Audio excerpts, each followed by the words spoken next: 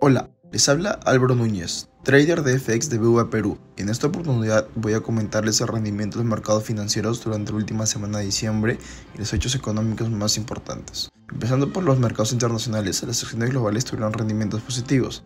En primer lugar, el S&P 500 tuvo ganancias de 0.4%, mientras que el Nasdaq 0.3%. Cabe destacar que el índice del dólar se depreció 0.4%. Estos movimientos se explicaron principalmente por la data económica, poca liquidez característica de la última semana y por el cierre de los portafolios de los inversionistas globales. En Estados Unidos, lo más relevante fue la publicación de actividad económica MNI PMI, que sorprendió la baja 46.9% versus el estimado 50%. Esto demuestra la paulatina desaceleración de la economía americana y que servirá de base para los futuros recortes de tasa por parte de la Fed. En línea con esto, el mercado estima recortes de 150 básicos para fin del 2024. En este escenario dependerá de la data de inflación y del mercado laboral que se publique estos meses. Finalmente, durante la semana se espera la publicación de PMI de empleo en Estados Unidos, mientras que por el lado de Europa se esperan los datos de actividad económica e inflación. Toda esta data servirá para tener un escenario claro del camino de política de las tasas globales. Por el lado local, los soberanos continuaron con rendimientos positivos, subiendo 9 básicos a lo largo de la curva, en medio de una semana con baja liquidez. Por el lado de la data económica se publicó el dato de inflación del mes de diciembre.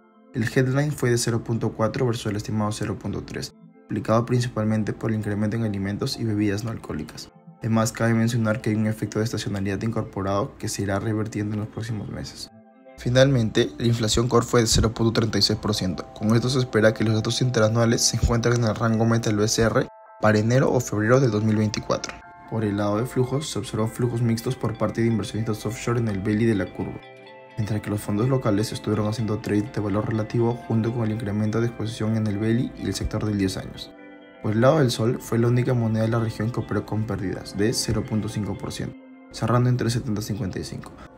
Además, operó en el rango de 368.30 a 371.60. En cuanto al resto de monedas regionales, las más apreciadas fueron el COP y el CLP, raleando 1.3 y 1.2% respectivamente.